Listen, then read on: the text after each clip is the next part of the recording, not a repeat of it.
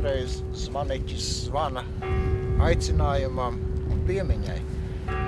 Toreiz viņš zvanīja, jo mācītāji cienīgi tēvs bija tā pavēlējis. Zvanot Valtaiķu evaņģēlis Kluturiskās baznīcas zvaniem, ļaudis aizdedza sveces pie piemiņas akmens Valtaiķos.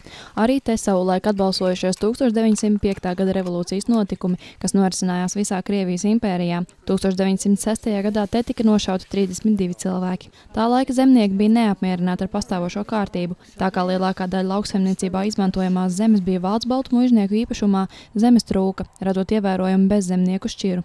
Laukos zemes trūkums bija vissmagākā problēma. Vietējie zemnieki un tautas skolotāji pieprasīja agrāru reformu, pārvaldes demokratizāciju un vācu baltu mūžniecības privilēģiju likvidēšanu. Tā bija uh, protests un sacelšanās pret gadsimtiem krātajiem ieradumiem, ko realizēja vācu mužnieki, vācu baroni.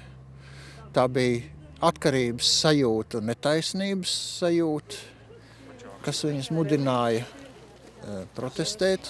Nu, diemžēl arī dedzināt muīžas, demolēt krogus. Un šeit nošautie daļa jau bija revolucionāri, pagastu rīcības komitejas locekļi vai pat rīcības komitejas priekšsēdētājs viens no viņiem bija. Bet pārējie bija vienkārši būdelnieki, būdnieki, tas ir mazu lauku sētu īpašnieki. 32 nošauto revolūcijas dalībnieku vidū 22 bija no Pilsberģiem, Jūrkalnas pusē. Pilsberģu ļaudis apglabāti Jūrkalnas kapos, pārējie atdusas savu ģimeņu kapu vietās. Marija Janvāra no Pilsberģiem šo piemiņas vietu apmeklējusi jau iepriekš, un par skarbajiem vēstures notikumiem vēsta arī jaunajām paudzēm. Tad, kad mums ir Jūrkalnē bija skola, mēs centos visus skolēnus uz šeien atvest. Un arī skolēni ir, ir, ir um, pētījums arī par to apkopots.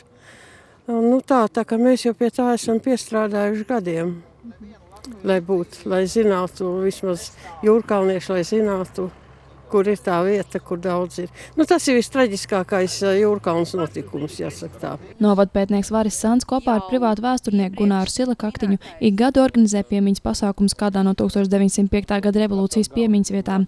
Pēc vairāku gadu klusēšanas Valtaiķu piemiņas vieta no jauna izgaismojas vecīšu liesmas. Mēs būsim tik neuzvarami, cik neuzvaram būs mūsu atmiņa. Un, uh, mēs esam pārbāzti un pārbagāti ar informāciju. Un brīžam mums liekas, ka, ka ka mēs slīkstam tajā visā informācijā, bet šie mirkļi ir tādi, kur ir, ir ļoti, ļoti svarīgi latviešu tautai. Kopš šī notikuma Valtēķos ir pagājuši 111 gadu. 1905. gada revolūcija sākās kā strādnieku revolūcija, bet beigās par tās mērķi kļuva mužnieku varas sagrāve.